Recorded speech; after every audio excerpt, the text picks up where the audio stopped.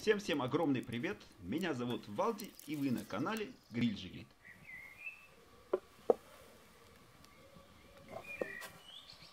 После некоторой паузы на ютубе я продолжу свою одиссею на ютубе с пиццей. Это, наверное, самая ленивая пицца на ютубе.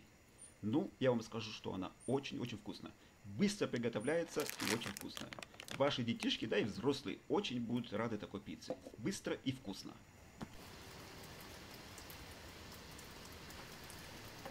Для приготовления этой пиццы нам потребуется немного.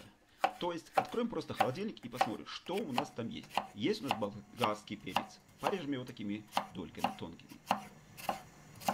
Есть лучок, зеленый лучок. Порежем его тоже. Есть петрушка. Пожалуйста. Помидорчики тоже можно порезать. Это уже, как говорится, на ваш вкус. Что у вас есть в холодильнике? Колбаса. Есть открытая колбаса. Она уже лежит. Надо ее использовать. Используйте колбасу. У меня это турецкая колбаса. Суджук. Кто был в Турции, знает эту колбасу. Мне много перца и много чесноку. Но она очень вкусная. А также нам потребуется два яйца. Два яйца просто взбьем для однородной массы.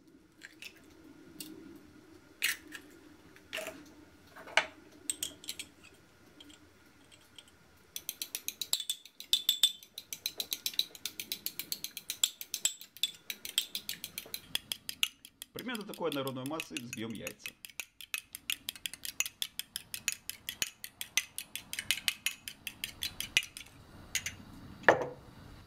Следующим потребуется лаваш и немного потертого сыра.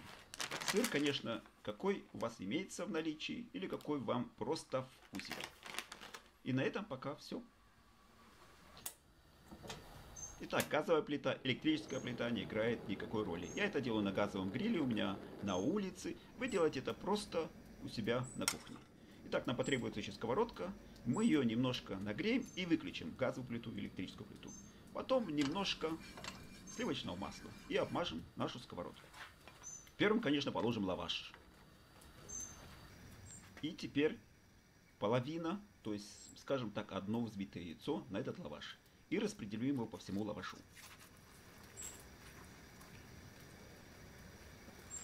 А теперь формируем нашу пиццу как по нотам. Сначала, конечно, положим колбаску, потом болгарский перчик, зелень. Если вы порезали помидоры, положите также помидоры. Я не хотел ложить помидоры, я хотел... С помидорами, я думаю, пицца будет такая более-менее мокрая. А я... мне хотелось хрустящую пиццу. В общем, вот так формирую я свою пиццу. Вы можете делать, как вы хотите. Как вам вкуснее и как вам красивее. И также немножко потертого сыра.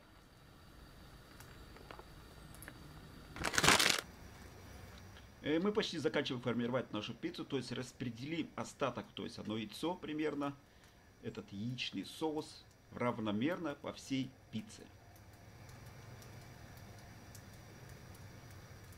И последним, как всегда, на пиццу что ложится? Конечно же, сыр. Вот сыра кладете, как вам как вы любите. То есть, если много, значит будет пицца такая жирноватая, поменьше, значит она будет более-менее пресноватая. Закрыли крышкой. Вот теперь включим комфорку газовую электрическую на самый минимум. И 3 минуты, не открывая крышки, ждем. Прошло 3 минуты, выключаем комфорку. И ждем еще 3-4 минуты. Комфорка выключена, а вот смотрите, процесс под крышкой идет дальше. То есть пицца готовится дальше. Все, прошло 4 минуты. Готово.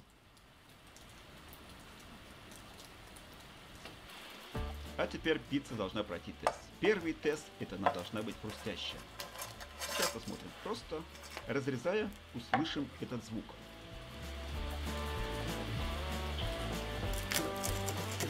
Вот так хрустит пицца. Это, конечно, не итальянская пицца но она хрустит. Вот послушайте. Точно так же, как итальянская. И очень вкусная. Быстро и вкусно. Я думаю, что этот рецепт имеет, как говорится, место под солнцем и на ютубе. Быстро и очень вкусно. Всем желаю приятного аппетита, оставайтесь здоровыми, заходите в гости и, как всегда у нас в Германии, Tschüss und auf Wiedersehen.